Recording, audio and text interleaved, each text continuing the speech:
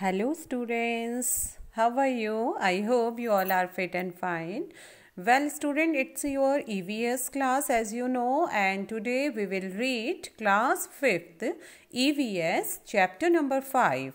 Okay, and student, it's a video 1 of this chapter. All right, video 1 of chapter number 5. So, let's start, students. Okay, so students, chapter's name is Seeds and Seeds. Okay, Seeds and seeds means beach or beach. All right. So here we will talk about different types of seeds. Okay. So let's start. Gopal watch waiting for the Mossy's family to visit them. Okay. They will be coming the next day for their holidays. He watched thinking about all the fun and nice food that he would have with his cousins. Just then his mother called out, Gopal, before you sleep, remember to soak two small bowls, katoris, of chana gram okay she was going to his bua's house and would return only in the morning so students let's explanation of this para so gopal was waiting for his mossy's family to visit them waiting इंतज़ार कर रहा था okay मौसीज means मौसी का mother sister family means परिवार visit means आने का वे आ रहे थे विज़िट पर भ्रमण पर आ रहे थे तो गोपाल की मौसी का परिवार छुट्टियाँ बिताने, घर आने वाला था तो गोपाल इंतज़ार कर रहा था। गोपाल वॉच वेटिंग गोपाल इंतज़ार कर रहा था अपनी मौसी के परिवार का जो उनके पास आ रहे थे। Okay they will be coming the next day for their holidays. They will be coming the next day. वे अगले दिन आ रहे थे for their holidays अपनी छुट्टियों के लिए। ठीक है? वे अपनी छुट्टियाँ स्पेंड करने के लिए गोपाल के घर पर अगले दिन पहुँच रहे थे नेक्स्ट डे आ रहे थे।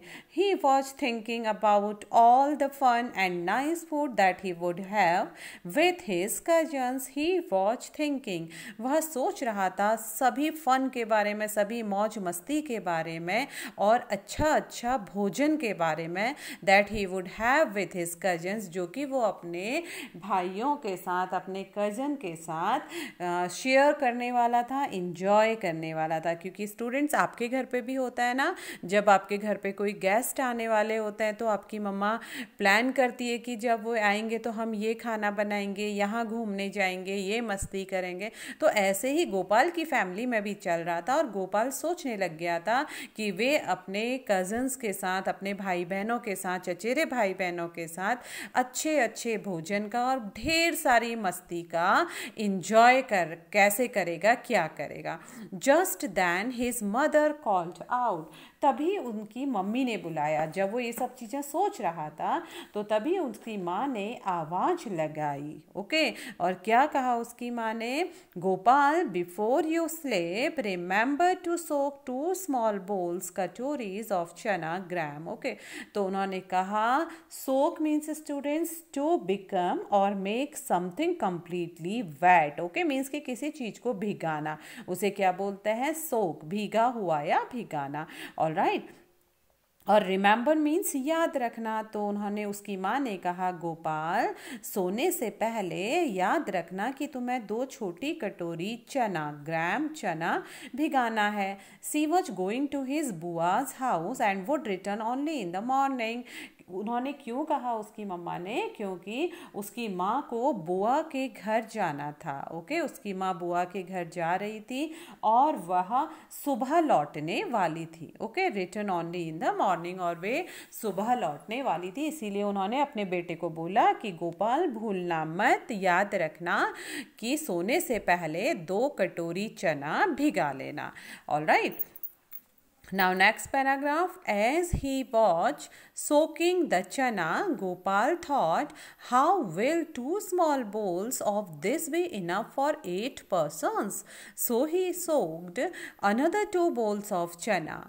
When his mother returned the next morning she saw that the chana were overflowing from the vessel. How much did you soak? asked his mother. How did that happen? wondered Gopal. Okay, so students, as he was soaking the chana, तो जैसे ही गोपाल को याद आया कि अब वो चना भिगोने जा रहा है तो गोपाल ने सोचा ओके okay, जब वह चना भिगो रहा था तो उसने सोचा how will two small bowls of this be enough for eight person उसने कहा कि सिर्फ़ ये दो छोटी कटोरी चना भिगाने से क्या एट पर्सनस के लिए मीन्स कि आठ लोगों के लिए यह पर्याप्त होगा? तो जब वो चना भिगा रहा था तो उसने सोचा, मेरी मम्मा ने तो कहा कि सिर्फ़ दो छोटी कटोरे चने भिगोने हैं, लेकिन हम तो एट मेंबर्स हैं हमारी, मौसी का परिवार और हमारा परिवार मिला के एट जने हैं तो एट लोगों में क्या ये दो छोटी कटोरी बोल्स चना सफिशियंट होगा इनफ होगा? तो उसने क्या किया? So he soaked another two bowls of chana. तो उसने फिर से दो कटोरी और चना भिगा दिया। उसको लगा कि दो चना, दो कटोरी चना सफिशियंट नहीं होगा तो उन्होंने फिर से दो कटोरी चना गोपाल ने और भिगा दिया। उसी वैसल में, उसी बर्तन में। All right when his mother return the next morning जब उसकी माँ रिटर्न मीन्स लौटी नेक्स्ट मॉर्निंग अगली सुबह। जब उसकी माँ, गोपाल की माँ, अगली सुबह लौटी सी सॉ उसने देखा, उसकी मम्मा ने that the chana were overflowing from the vessel ठीक है? कि जो चना था, जिस बर्तन में वैसल मीन्स पॉट बर्तन, जिस बर्तन में चने भिगाए थे तो उससे चने नीचे गिरे हुए थे ओवरफ्लोइंग हुए थे, ठीक है? ओवरफ्लो मीन्स बाहर गिर जाना। यू कैन सी हेयर देखो इस पिक्चर में भी आप देखो, ऐसे वैसल में चने भिगोए थे और ज़्यादा चने होने की वजह से कुछ चने नीचे गिर गए, ठीक है? तो उसकी मम्मा ने जैसे ही ये देखा तो उसकी मम्मा ने जो जल्दी से पूछा how much did you soak तुमने कितने अधिक भिगाए आस्ट हिज मदर उसकी माँ ने कहा ओके उसकी माँ ने कहा कि तुमने कितने सारे चने भिगो दिए। How did that happen wondered Gopal. और गोपाल सोचने लगा कि ये कैसे हो गया? मैंने तो सिर्फ़ छोटे छोटे चार बॉल भिगाए थे, लेकिन ये तो इतने ज़्यादा चने सोख हो गए, इतने ज़्यादा चने हो गए सोख होने के बाद कि ये तो नीचे गिर गए हैं।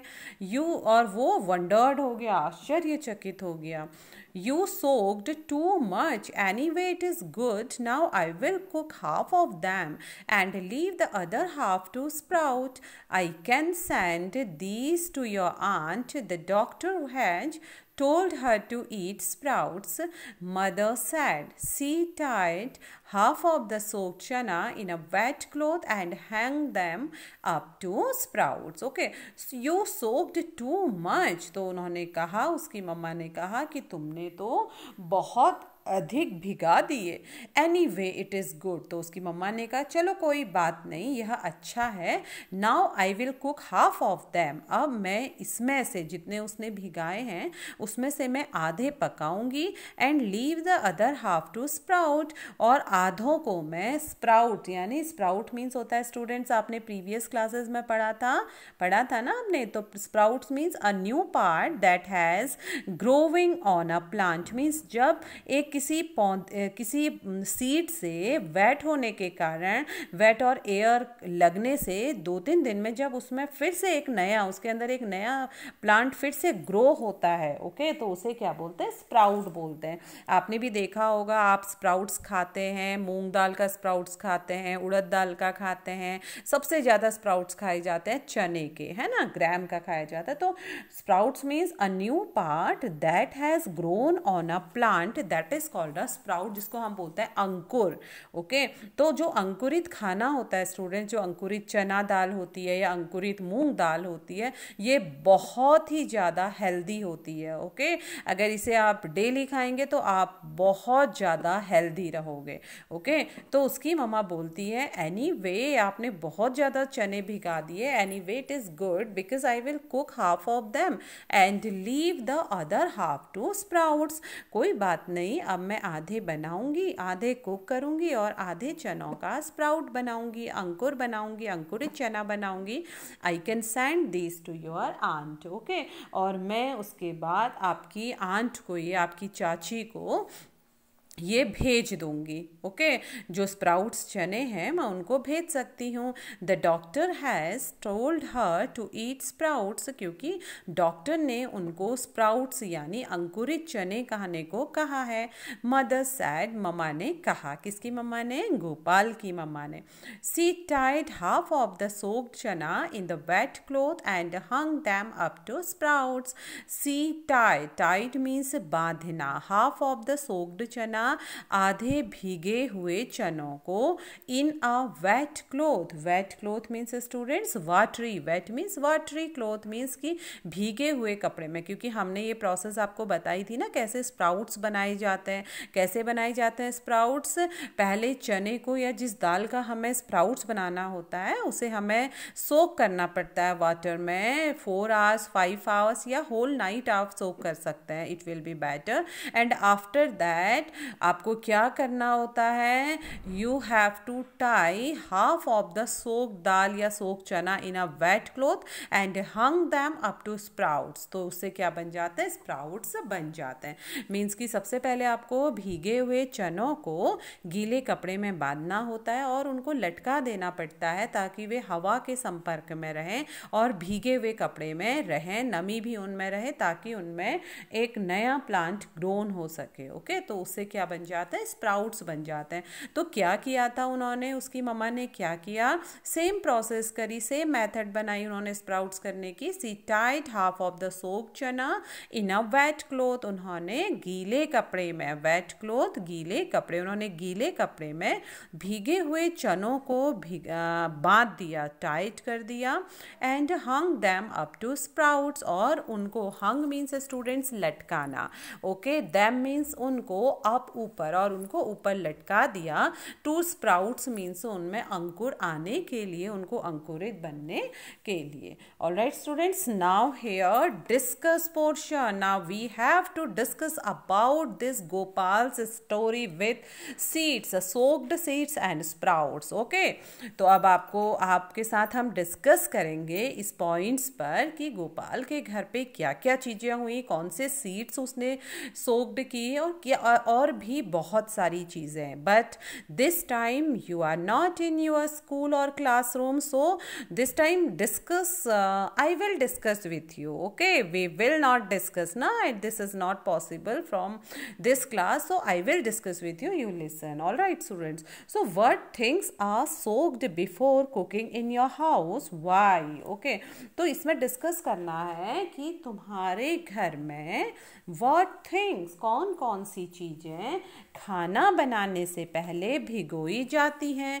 ये आंसर्स तो all you have I sure कि आप सबके पास ये आंसर होगा, क्योंकि आपकी मम्मा रात को कुछ चीज़ें ज़रूर भिगाती होंगी आपकी स्पेशल डिमांड्स पर। अगर आपको चने खाने हैं, बहुत सारे स्टूडेंट्स को चने बहुत पसंद होते हैं। तो जब भी आप अपनी मम्मा को डिमांड करते हैं कि, मम्मा I just want to eat chana और चटपटे चने और चना वेजिटेबल्स एक्सेट्रा तो आपकी मम्मा क्या करती है और बोलती है ओके वेल बेटा I will soak chana and next morning I will cook this chana for you बोलती है ना। तो दैट्स वाई स्टूडेंट सबसे पहला तो ये हो गया कि आपके घर पे जो पकाने से पहले भिगोई जाता है, वो क्या है? चना है। उसके अलावा भी कई चीज़ें ऐसी होती हैं जिसको आप बना, खाना बनाने से पहले आपकी फैमिली में भिगोया जाता है।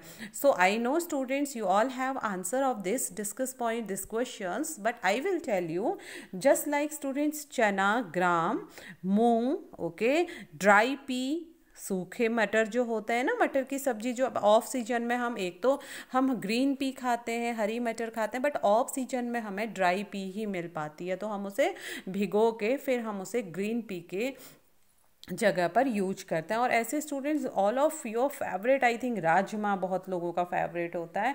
तो राजमा दाल भी पक, पकाने से पहले भिगोई जाती है। ऐसे ही सोयाबीन ठीक है? तो ये सारी चीज़ें क्या हैं? पकाने से पहले इसलिए भिगोई जाती हैं because this things okay this things become soft after soaking and this makes it easier to grind and and cooked them okay क्यों भिगाया जाता है? अब इसके पीछे भी क्वेश्चन है स्टूडेंट्स कुछ बच्चों को मालूम होगा कि क्यों भिगाया जाता है। जिसने पक्का अपनी मम्मा से क्वेश्चन किए होंगे कि, मम्मा, आप इसे क्यों पक, भिगोते हो? और डायरेक्टली क्यों नहीं पका रहे हो? तो आपको तो आपकी मदर ने आंसर बताए होंगे बट जिसको नहीं मालूम है I will tell you okay so students chana moong dry pea rajma soybean etcetera these things become soft after soaking this okay and why we soak this type of dal pulses और etcetera some things so because this makes it easier to grind them and cooked them उसको पीसने के लिए अगर हम मूंग दाल और उड़द दाल को भिगोते हैं तो हम उसे इसलिए भिगोते हैं ताकि वो इजीली ग्राइंड हो सके, पिस सके ओके और आसानी से कुक हो सके, इसलिए हम राजमा को, चनों को भिगोते हैं। So all you have answer of this question all right now next question students what things do you eat after sprouting how are they sprouted how much time does it take okay so students what things do you eat sprouting okay तुम्हारे घर में कौन कौन सी चीज़ें sprout करके खाई जाती हैं, अंकुरित करके खाई जाती हैं। हाउ आर दे स्प्राउटेड और उन्हें कैसे अंकुरित किया जाता है? Do you have such ideas okay how much time does it take और यह अंकुरित होने में स्प्राउट्स बनाने में कितना समय लगता है? So I think students many students you you have this answer because sometime you like to eat sprouts okay and many times, definitely you had asked some questions about sproutings and sprouts chana etc okay so students i will tell you this answer so you can say that we eat chana moong and urad etcetera after sprouting ठीक है आप लोग mostly students आप सबके घर पे जो sprouts करके खाए जाते हैं वो चना और मूंग दाल होती है और some some students may be like to eat urad sprouts ठीक है उड़द की दाल के भी कोई बच्चे स्प्राउट्स खाने पसंद करते हैं बट जनरली जो सबसे ज़्यादा रेशियो है स्प्राउट्स बनाने का दाल का, वो चने दाल का स्प्राउट्स सबसे ज़्यादा पसंद किया जाता है और मूंग दाल का स्प्राउट्स भी उसमें मिक्स किया जाता है okay? And student what's the method to make sprouts तो हमने पहले भी बताया था, इसके लिए क्या करना पड़ता है it soaked water overnight and then the water is drained out and they are kept in a basket or suspended in a wet cloth so that they can get air it takes about how many uh, days or how many hours students yes it takes about 3 days to make sprouts or 36 to 48 hours okay तो students क्या होता है कि हम ज़्यादातर अपने घर पे कौन सी स्प्राउट्स खाते हैं चना का और मूंग दाल का। और कैसे स्प्राउट्स बनाए जाते हैं, अभी हमने पहले भी डिस्कस किया था कि कैसे स्प्राउट्स बनाए जाते हैं। सबसे पहले जिस चीज़ का हमें स्प्राउट्स बनाना होता है तो हमें उसको सोक्ड करना पड़ता है। सोक्ड इन वाटर ओवरनाइट, पूरी रात हमें पानी में उसे सोक्ड करना पड़ता है। एंड देन क्या करना पड़ता है? Then the water drained, and after water drained we have to tight half of the means Um, we have to tight soaked chana or soaked dal in a wet cloth and hung them up to sprouts okay so students you can say that we eat chana moong dal urad dal etc after sprouting in my family okay and students uh, how to how are they sprouted kaise use sprout kiya jata hai it soaked water overnight then the water is drained out and they are kept in a wet cloth or in a basket or suspended in a cloth so that they can get air and students mind it it's a very necessary to make sprouts getting air and watery cloth or watery area means कि अगर वह वहाँ पर नमी नहीं होगी moisture नहीं होगा हमारी दालों और उसे बराबर हवा नहीं मिलेगी तो स्प्राउट्स नहीं बन पाएँगे okay okay? And students next third question is how much time does it take कितना समय लगता है इसको बनाने में? So student it takes about thirty six to forty eight hours to sprouts to make sprouts और to be sprouted okay so next question student has the doctor और someone you know ever told you to eat sprouts why okay students तो it means कि क्या तुम्हें has the doctor और someone okay क्या तुम्हें या तुम्हारे आसपास किसी को? डॉक्टर ने स्प्राउट्स खाने के लिए अंकुरित खाने की सलाह दी है। अगर दी है तो क्यों दी है? Why you have to tell the reason about it okay इसके बारे में क्या रीज़न है? क्यों डॉक्टर और someone you know ever told you to eat sprouts तो स्टूडेंट्स अभी आपको आपने पहले भी बताया था कि जो स्प्राउट्स होते हैं it's a very healthy okay it's a very nutritions इसमें बहुत सारे पोषक तत्व होते हैं, ये बहुत हेल्दी होता है because you can say that yes because आपके पेरेंट्स डेफिनेटली कहते हैं और हम भी आपको टीचर्स भी आपको अक्सर कहते हैं कि आप स्प्राउट्स खाया करिए। So you can say that my parents and my teachers advise me to sprouts because they are very nutritious okay so in simple answer simple way you can say my parents and teachers advised me to eat sprouts because they are very nutritious, all right? Okay. Now next do this and find out okay now students here are one activity you have to do this and after that find out some questions so आपको करके देखना है all right? आपको पहले activity करनी है फिर देखना है क्या उसका रिज़ल्ट और क्या उसका आउटपुट रहता है और उससे आपको कई चीज़ें सीखने को मिलेंगी all right so students do you remember that in class 4th you did an activity with seeds. Now try another one. तो स्टूडेंट्स आपको रिमेंबर है, अभी आपने आपको पहले भी बताया था कि आपको याद है क्लास फोर्थ में आपने कुछ एक्टिविटीज़ करी थी सीड्स के साथ। नाउ ट्राई अनदर वन अब दूसरी एक एक्टिविटी आपको और करनी है। तो क्या एक्टिविटी है students first one take some chana and three balls okay अब आपको स्टूडेंट्स क्या करना है? इसके लिए आपको कुछ चने लेने हैं और और थ्री कटोरीज लेनी है आपको, ठीक है? तीन कटोरियाँ आपको लेनी है। Second step put five chana in the first बोल। अब आपको क्या करना है? फाइव चने आपको, आप काउंट करेंगे। One two three four and five five चने आपको पहली बोल में लेना है, पहली कटोरी में लेना है।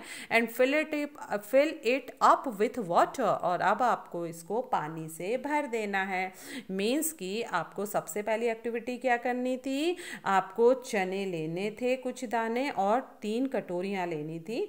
अब आपको क्या करना था? पहली कटोरी में पाँच चने के दाने लेने था और कटोरी को पानी से पूरा भर देना है okay now third step put a damp piece of cloth ठीक है? अब आपको डैम्प पीस ऑफ़ क्लोथ जो गीला कपड़ा है आपको, उसको भीगे हुए कपड़े में और some cotton wool in the second bowl अब आपको क्या करना है? दूसरी कटोरी में भी आपको उतने ही चने okay cotton wool in the second bowl now keep the same number of chanas in it make sure that the cotton wool और क्लोथ रिमेन्स वेट अब आपको क्या करना है? दूसरी कटोरी में भी उतने ही चने भीगे हुए कपड़े में रखने हैं। लपेट के आप रख देंगे।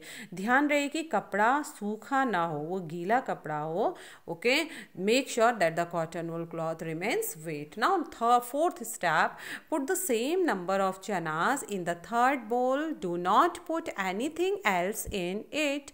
Cover all the three bowls. Okay. So put the same number of chana. आपको इतना ही चना तीसरी कटोरी में लेना है ओके okay? आपको do not put anything else in it अब उस कटोरी में आपको कुछ भी नहीं रखना है ओके okay? आपको कोई भी चीज़ उस कटोरी में नहीं डालनी है cover all the three bowls और अब आपको तीनों कटोरियाँ ढक देनी है। ठीक है? आपको तीसरी कटोरी में क्या रखना था? केवल चना रखना था, लेकिन अमाउंट सेम था, और लेकिन उसके अलावा आपको उसमें कुछ नहीं रखना था। ठीक है? तो स्टूडेंट्स फ़र्स्ट बोल में तो आपने क्या किया? Put five chana in the first bowl and fill it up with water पहली बोल में आपने पाँच चने के दाने रखे और उसको पूरा का पानी से भर दिया। दूसरी कटोरी में आपने क्या किया? पाँच चने रखे और सेम नंबर ऑफ़ चना इन इट और उसमें आपने गीला कपड़ा या गीली रुई कॉटन वुल या कॉटन क्लोथ आपने रख दिया। लेकिन ये याद रखना है कि जो चनों के साथ आपने कपड़ा और या भीगी रुई रखी है, वो गीली होनी चाहिए रिमेन्स वेट होना चाहिए, ठीक है? और तीसरी बोल में आपने क्या किया? सिर्फ़ सेम अमाउंट में चना, यानी पाँच चने के दाने डाले और उसमें बाकी कुछ नहीं डाला। अब आपने इन तीनों कटोरों को कवर कर दिया, ढक लिया all right observe after two days and note the changes in the bowls okay अब आपको ऑब्ज़र्व करना है, ध्यान देना है आफ्टर टू डेज़ ओके दो दिन के बाद आप ध्यान से देखिए एंड नोट और लिखिए the changes in the bowls कि तीनों कटोरियों में क्या बदलाव मिला, क्या चेंजेस मिला। तो students first one bowl one bowl two bowl three अब आप ये एक्टिविटी अपने घर पे ज़रूर करिएगा स्टूडेंट्स ठीक है? तो आप इस एक्टिविटी को करें हैं और उस एक्टिविटी को करने के बाद आप इस टेबल को भी फिल करेंगे ओके उसी ऑब्जर्वेशन पर, उसी बेस पर कि क्या आपका इस एक्टिविटी से आउटपुट आया, क्या आपके ये क्वेश्चंस के आंसर आए, वो आपको खुद एक्टिविटी से करने हैं, ठीक है?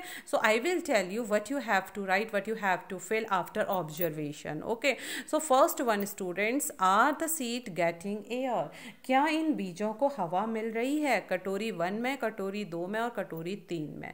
तो कटोरी वन में हवा मिल रही थी? नो वाई बिकॉज़ कि जो वो फ़र्स्ट बोल थी it fill up with water तो उसमें तो पूरी कटोरी में पानी भरा था तो एयर तो उसमें जाएगी नहीं। Okay okay? और सेकंड में क्या एयर मिल रही थी? यस डेफिनेटली बिकॉज़ उसमें वेट क्लोथ या वेट कॉटन था और कुछ चने थे, बाकी वो बोल खाली थी तो उसमें एयर बराबर मिल रही थी। एंड थर्ड वन में येस उसमें सिर्फ़ चना था, बाकी कुछ नहीं था तो उसमें भी एयर मिल रही थी। तो ऐसे ही आपको आंसर्स यहाँ पे लिखना है।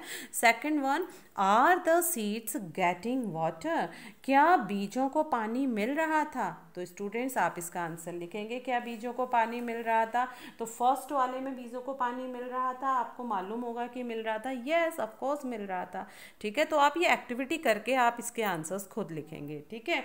यहाँ पर भी मिल रहा था बोल टू में भी मिल रहा था। ओके क्योंकि उसमें क्या था? वेट क्लोथ था। ठीक है? तो आप ये एक्टिविटी आप खुद से करके इसके आंसर्स आप अपने ऑब्जर्वेशन पर लिखेंगे। तो ऐसे ही थर्ड वन है what changes did you see बीजों में आपने क्या बदलाव देखा? ओके तो स्टूडेंट्स बीजों में आपने क्या बदलाव देखा होगा? जब आप ये एक्टिविटी करेंगे तो आपको वो चेंजेस अपने आप ही आप फाइंड कर लेंगे। तो जैसे कि फ़र्स्ट बोल में जो कि चने और पानी से भरी हुई थी मीन्स कि चने चने के ऊपर पूरी बोल पानी से फिल था। तो ऑफकोर्स क्या चेंजेस हुआ होगा? चनाज हैव स्वेल्ड अप जब हम किसी चीज़ को पानी में डाल देते हैं, भिगो देते हैं तो वो चीज़ क्या हो जाती है? स्वेल्ड हो जाती है मीन्स उसमें वो पानी एब्जॉर्ब हो जाता है और जिससे वो फूल जाती है स्वेल हो जाती है, ठीक है? स्वेल्ड अप हो जाती, वो फूल जाती है। जैसे हम चने छोटे छोटे चनों को हम भिगोते हैं पूरी नात ओवरनाइट और नेक्स्ट मॉर्निंग हम देखते हैं या आफ्टर फोर फाइव आवर देखते हैं थर्ड आवर देखते हैं तो वो फूल के छोटा सा चना काफ़ी बड़ा हो जाता है और सॉफ्ट हो जाता है। तो इस टाइप के बाकी बोल टू के चने और बोल थ्री के चनों में क्या चेंजेस हुआ स्टूडेंट्स ये आप यहाँ पर लिख कर बताएँगे। सपोज़ अगर बोल टू में, क्योंकि उसमें वेट क्लोथ था और कम पानी था वेट क्लोथ था और चने थे।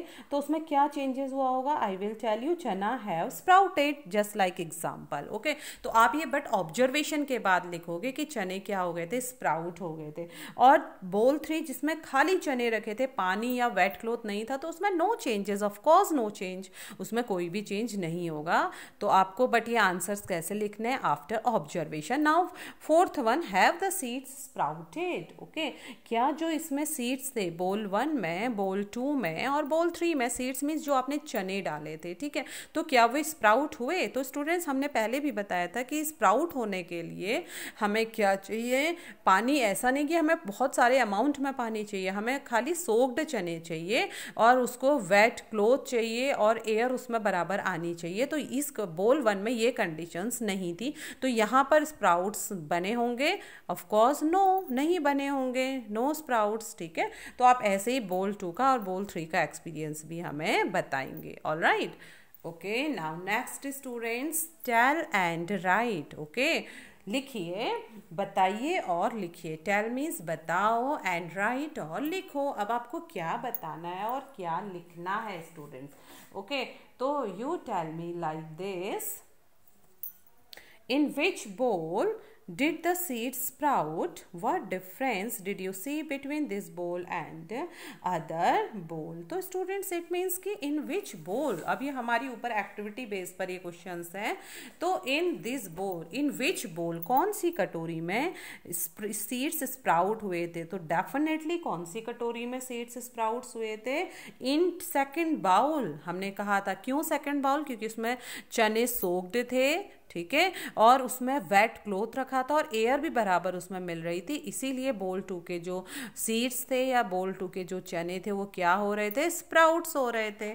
Okay and next question students इस कटोरी में what differences did you see between this bowl and the other bowls तो इस कटोरी में और अदर कटोरियों में बोल वन में और बोल टू में क्या डिफरेंसेस थे? उसके बीजों में क्या अंतर दिखने को मिला? ठीक है?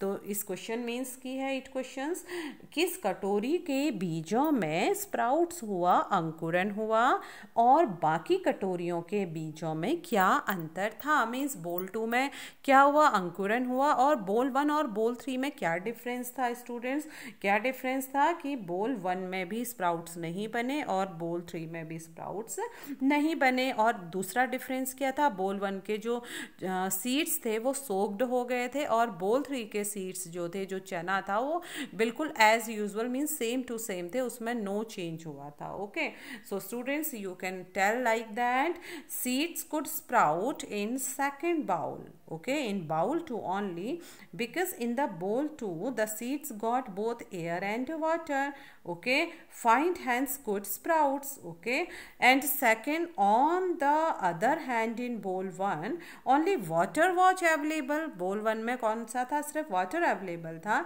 और जिसकी वजह से क्या हुआ? स्प्राउट्स तो नहीं बने but seeds soaked up okay and in the third bowl okay in the third bowl there was no water and no air hence seed can not sprout and no change all right again, i will tell you how you will tell answer of this question.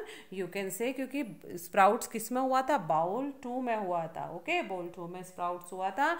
बोल one में only जो seeds थे, वो soaked हो गए थे। उनमें sprouts नहीं हुआ। और बोल थ्री में भी स्प्राउट्स नहीं हुआ था। उसमें सीड्स सोक भी नहीं हुए थे।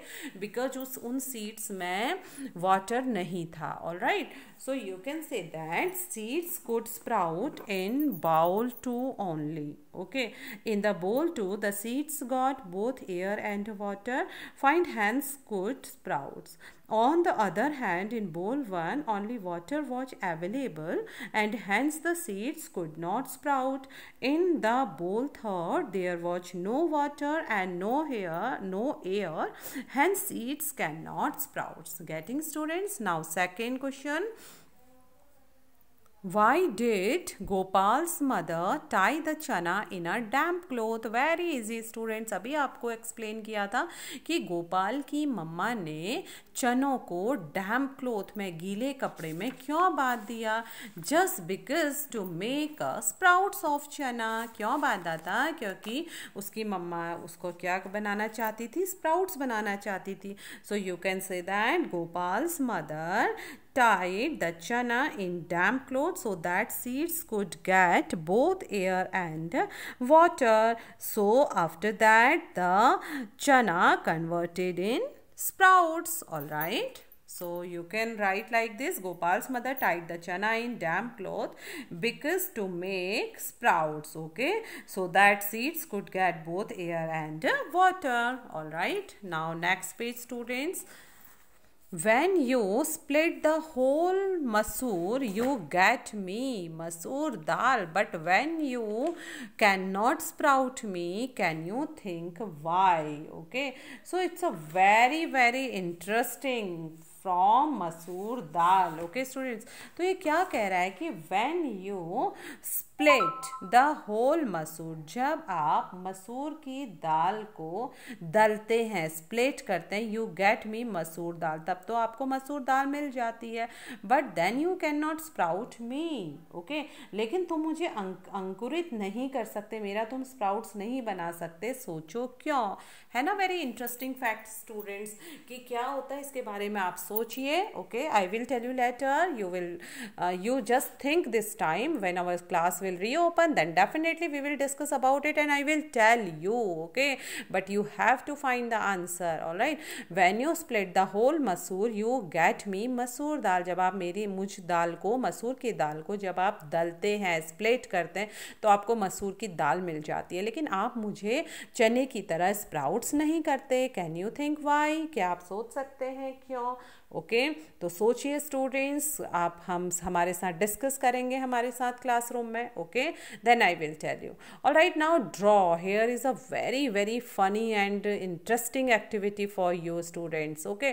अब आपको एक डायग्राम ड्रॉ करना है. Look carefully at your sprouted chana and make its a drawing तो स्टूडेंट्स जब भी आपके घर पे चने को अंकुरित किया जाता है, या फिर आपने कभी अंकुरित चना देखा होगा तो मेक इट्स अ ड्रॉइंग अब आपको एक ड्राइंग बनानी है okay when you will write question answer of this chapter then you will paste when I will say where you have to paste it okay you just ready to draw of sprouted chana all right okay students तो आप इसको plain drawing paper पे draw करिए sprouted चना को, ठीक है? जब हम इस चैप्टर के क्वेश्चन आंसर लिखेंगे then you will paste it okay now next question students project plant your seeds, okay तो स्टूडेंट्स, अब एक प्रोजेक्ट है अब आपको इसमें क्या करना है एक पौधा बोना है, ओके okay? तो ये प्रोजेक्ट है आपके बीज को बोने का प्रोजेक्ट, ओके okay? अब आपको यहाँ पर एक एक्टिविटी करनी है, एक पौधा बोने का एक प्रोजेक्ट करना है, उससे आपको बहुत सारी चीज़ें सीखने को मिलेंगी, okay okay? Take a clay pot or a tin can with a wide mouth अब स्टूडेंट्स आपको क्या करना है? एक क्ले पॉट लेना है, मिट्टी का गमला लेना है ओके या फिर एक टिन का भी आप गमला बना सकते हैं। अगर आपके पास मिट्टी का गमला नहीं है तो एक टिन का डब्बा आप ले सकते हैं। लेकिन उसका मुँह क्या होना चाहिए? चौड़ा होना चाहिए, ताकि उसमें हम प्लांट्स क्या करें? प्लांटेशन कर सकें और प्लांट ईजिली ग्रो हो सके ओके तो आपको एक क्या लेना है? गमला लेना है या फिर टिन का एक डब्बा लेना लेना है, लेकिन उसका मुँह क्या हो? चौड़ा हो।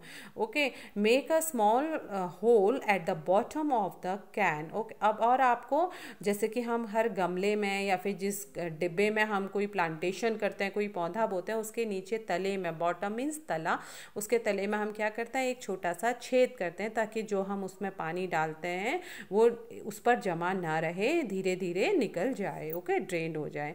Fill your can with soil अब आपको उस डिब्बे को मिट्टी से। सॉयल मीन्स मिट्टी मिट्टी से भरना है।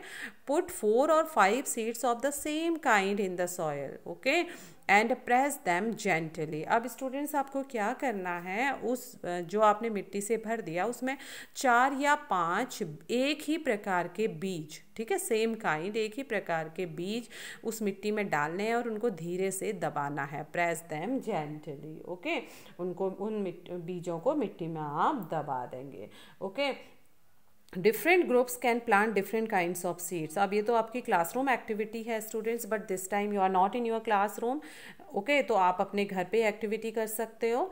आप खुद से आप एक दो गमले लगा सकते हो, क्योंकि आपके पास अभी एक गमला है, अगर क्लासरूम में एक्टिविटी होती, दूसरे फ्रेंड के पास दूसरा गमला होता बट अभी घर पर आप हो तो आप एक दो गमलों में ये एक्टिविटी कर सकते हो ओके तो आपको क्या करना है put four or five seeds of the same kind in the soil and press them gently different groups can plant different kinds of seeds अब आपके जो ग्रुप्स बने हैं अलग अलग ग्रुप में बच्चे अलग अलग प्रकार के बीज बोएँगे, ठीक है? सच एज मस्टर्ड कोई बच्चे बच्चे मस्टर्ड बो देंगे सरसों, कोई फैन्योग्रेक मेथी बोलेगा, कोई सेसमी तिल बो देगा, कोई कोरिएंडर धनिया का बीज डाल देगा, ठीक है?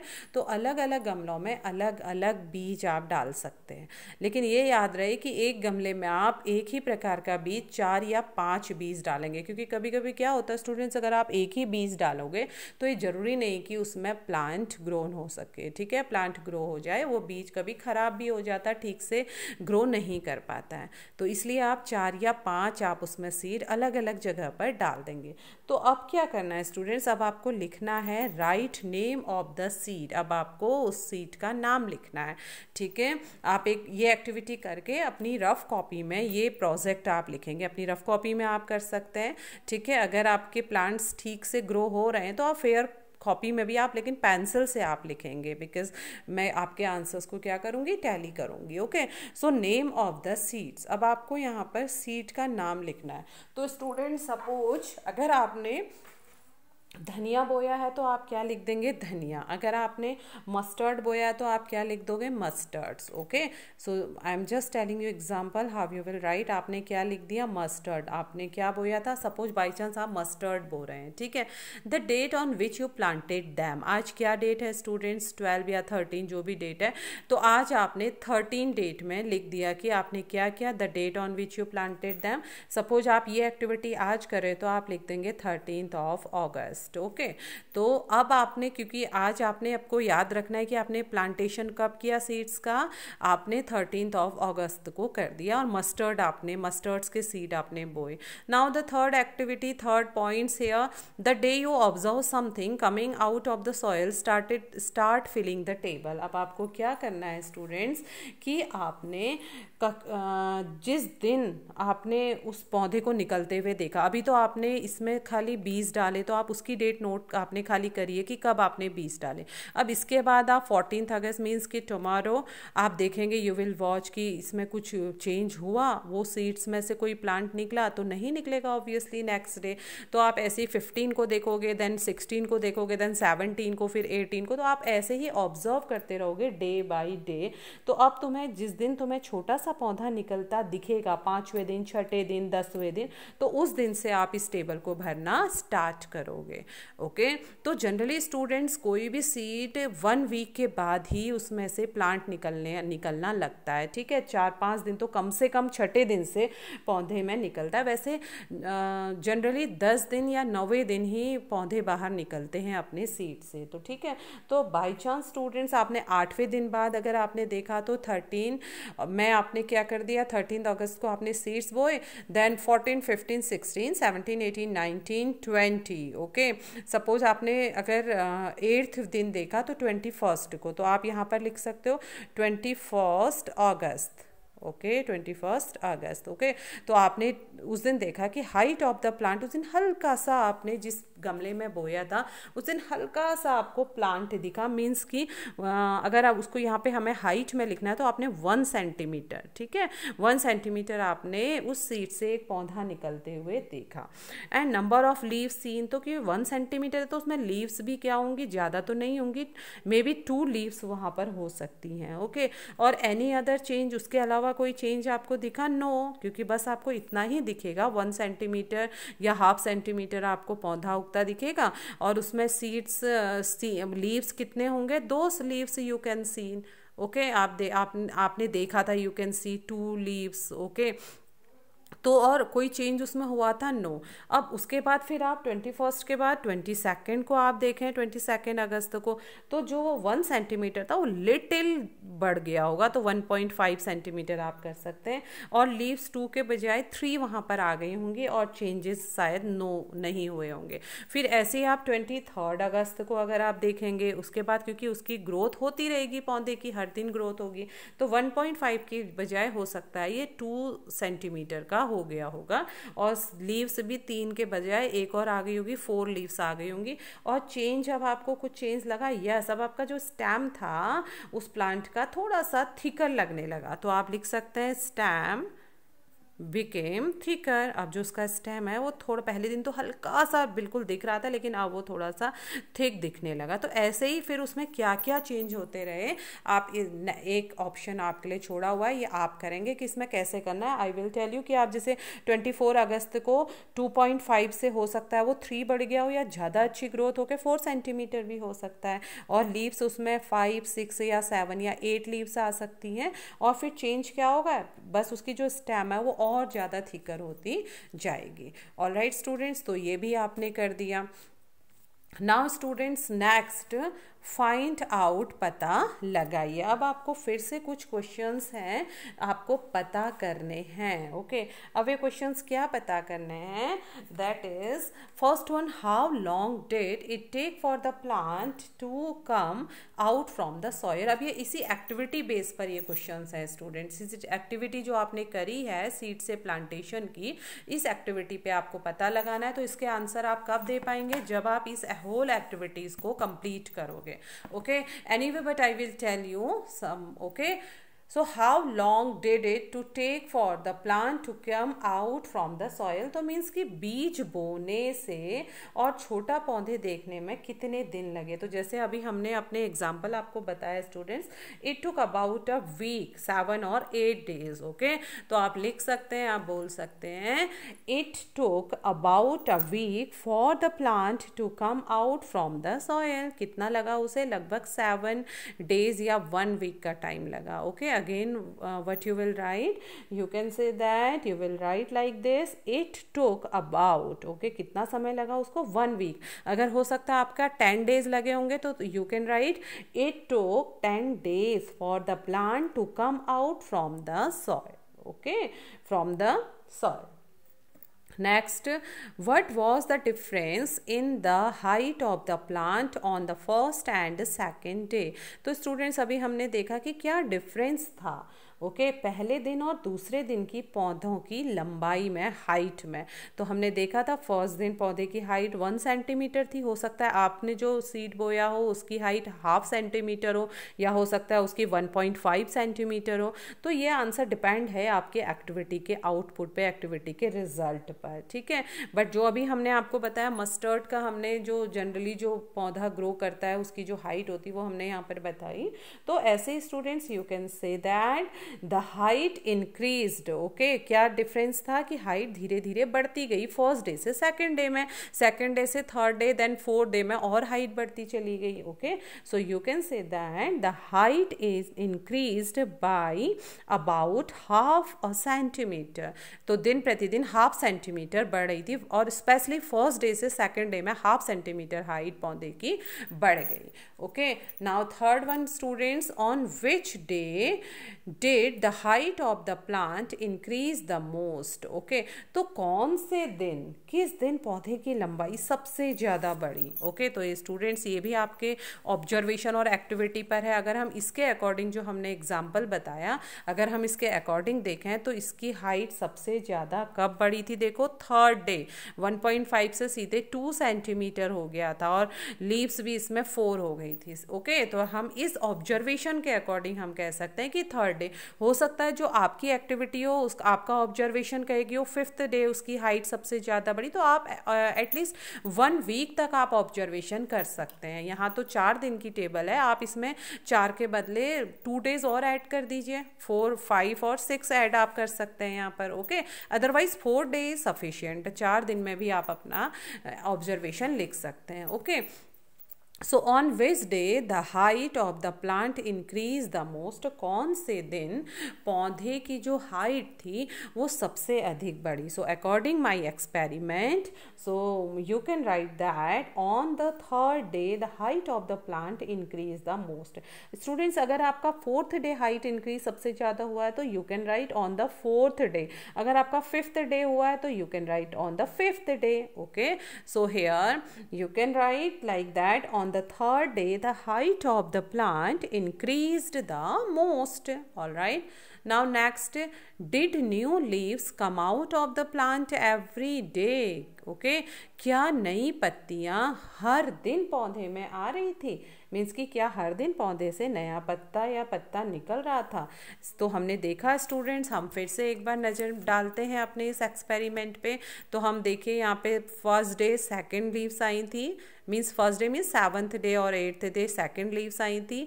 दो लीव्स आई थी और नेक्स्ट डे थ्री लीव्स आई और नेक्स्ट डे फोर्थ लीव्स आई थी। ठीक है? तो इट मीन्स कि हर दिन लीव्स की जो संख्या थी वो बढ़ रही थी।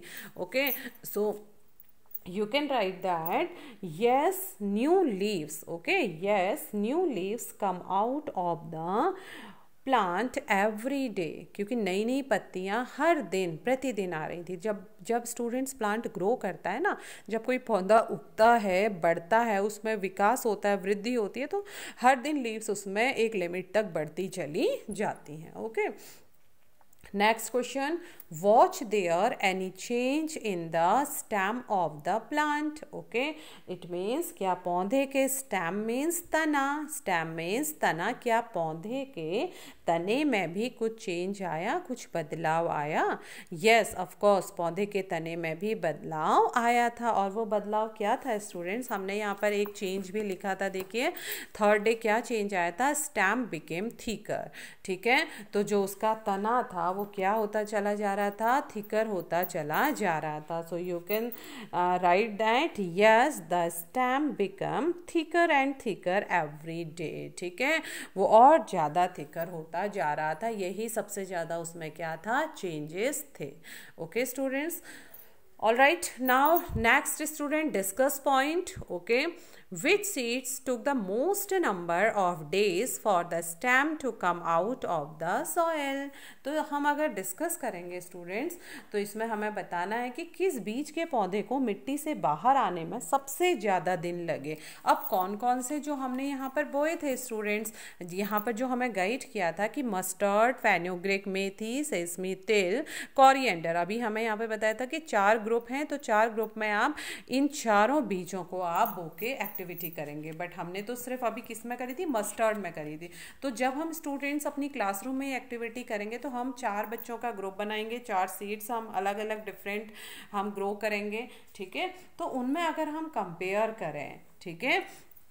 कि कौन सी सीट्स किस किसमें स्टूडेंट्स मस्टर्ड में मेथी में, सेसमी तिल में और कॉरिएंडर में अगर हम कंपेयर करें which seeds to the most number of days for the stem to come out of the soil तो स्टूडेंट्स जनरली तिल का जो बीज होता है, उसमें प्लांट सबसे जल्दी आता है, ठीक है? Seeds of sesame okay so you can write that तिल या seeds of sesame okay next which seeds took the least days to come out of the soil और इन चारों में स्टूडेंट्स कौन से बीज ने, कौन से सीड ने सबसे लीस्ट डे सबसे कम दिन लगाए सॉयल में बाहर आने में, ठीक है? इसने तो सबसे ज़्यादा समय लगाया। ठीक है, इस वाले सीड ने क्या किया था? मिट्टी से बाहर आने में सबसे ज़्यादा दिन लगाए थे किसने? तिल के बीज ने। अब किसने सबसे कम समय लगाया? तो स्टूडेंट्स अगर हम कंपेयर करें तो जनरली जो मस्टर्ड होता है, सरसों जो होता है, वो सबसे जल्दी क्या होता है? इन चारों के कंपैरिजन में जो मस्टर्ड के सीड होते हैं, उसमें सबसे जल्दी मिट्टी से अंकुरन होता है, सबसे ज़्यादा पौधा बाहर, सबसे जल्दी पौधा बाहर निकलता है okay so you can write which seeds took the least days to come out of the soil so you can write seeds of mustard यानी सरसों का ठीक है सो फ़र्स्ट वन तिल सेकेंड वन सरसों okay now third question which seeds did not grow at all why okay तो कौन सा बीज, कौन से बीज सभी ढंग से नहीं उगे? मीन्स कि कौन सा बीज उगा ही नहीं ठीक से? उन सब में से कौन सा बीज ठीक से नहीं उगा? और इसके पीछे क्या रीज़न है? वो क्यों नहीं उगा होगा? तो स्टूडेंट्स सभी बीज क्या हैं? अच्छे से उग गए होंगे। अगर हम ये एक्टिविटी कराएँगे तो ऑलमोस्ट अगर आपने प्रॉपर ढंग से इन बीजों को बोया होगा प्रॉपर इसे पुश किया होगा, बीज को सॉयल में पुश किया होगा वाटर आपने डाला होगा सॉयल अच्छी ली होगी और इसको सनलाइट के पास रखा होगा तो डेफिनेटली आपके बीज से पौधे निकले होंगे। So you can write that all seeds grow well in the presence of water and air here okay if either of these two factors is uh, properly okay properly not या is absent then the seeds cannot grow जैसे कि हमने आपको बताया कि अगर air water मिलेगा sunlight मिलेगी तो आपका जो सीड है उसमें से पौधा क्या होगा, उग जाएगा। बट अगर इनका एब्सेंस रहेगा मीन्स कि आप उसमें वाटर नहीं डालेंगे, या आपने अच्छी मिट्टी नहीं ली है, उस मिट्टी में बहुत सारे पत्थर हैं, वो प्रॉपर मिट्टी नहीं है तो आपके सीड से पौधा नहीं उगेगा, ठीक है? तो अगर आपने प्रॉपरली इसको बोया है सीड्स को प्रॉपर आपने उसमें इरिगेशन की है, पानी डाला है, और उसको एयर प्रॉपर मिल रही है तो डेफिनेटली उससे पौधा उगेगा okay so again I am repeating my answer you can say that which seeds did not grow at all. Why? You say that all seeds grow well in the presence of water and air. If either of these two factors is absent which two which these two factors water and air so if either of these two factors is above is absence okay so then the seeds cannot grow. Otherwise seeds can grow properly. All right. Next did anyone's plant dry up or turn yellow? Why did this happen? Did anyone plant dry up or turn yellow? Means कि अगर तुम्हारा पौधा dry up हो गया है सूख गया है या turn yellow या पीला हो गया है so what happened? Why did this happen? तो सोचो क्या हुआ ओके okay? ऐसा तो सोचो ऐसा क्यों हुआ होगा? Did any one plant dry up और turn yellow why did this happen okay means कि जब आपने ये एक्टिविटी की होगी तो मे भी आपके साथ भी होगा। स्टूडेंट्स की हो सकता है, ज़रूरी नहीं कि आपका पौधा बहुत अच्छा होगा हो। हो सकता है आपका पौधा सूख गया हो या येलो हो गया हो, पीला पड़ गया हो। तो आपको इसका रीज़न मालूम होना चाहिए। तो स्टूडेंट्स जनरली क्या होता है? अगर ऐसा हुआ है तो इट मीन्स कि आपने अपने गमले में या अपने टिन कैन में प्रॉपर वाटर वाटर और एयर नहीं डाला होगा। ठीक है? मीन्स कि आपको हवा भी नहीं मिली होगी। आपने ऐसी जगह रख दिया होगा जहाँ प्रॉपरली हवा नहीं आती हो या आपने उसमें पानी बिल्कुल ना डाला हो या आपने उसे किसी चीज़ से उस डब्बे को ढक दिया होगा। बाई चांस आपने हो सकता है उसमें ढक्कन लगा दिया हो या कोई चीज़ उसके ऊपर रख दी जिससे उसको एयर नहीं मिल पाई। Okay so you can write like this yes this happen because proper amount of water and air was not provided okay that's why any ones plant dry up and turn yellow what's the reason behind it again I am telling you this happen because the proper amount of water and air was not provided. All right. Now last to discuss point students what would happen if the plants do not get water okay very important question it's a very important for plantation okay कि what would happen क्या होगा okay if the plants do not get water यदि पौधों को पानी नहीं मिलेगा तो क्या होगा तो स्टूडेंट्स यदि अगर पौधों को पानी नहीं मिलेगा तो डेफिनेटली आपका जो पौधा है वो क्या हो जाएगा ड्राई अप हो जाएगा सूख जाएगा जाएगा, ओके? और वो टर्न येलो टर्न हो जाएगा मीन्स कि उसका जो कलर हो जाएगा, वो uh, येलो हो जाएगा, पीला हो जाएगा और पूरा पौधा सूख जाएगा।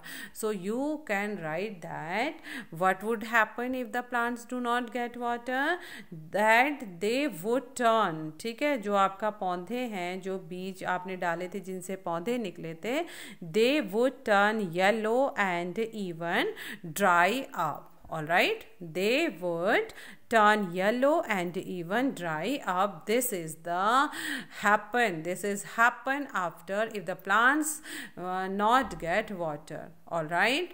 Now next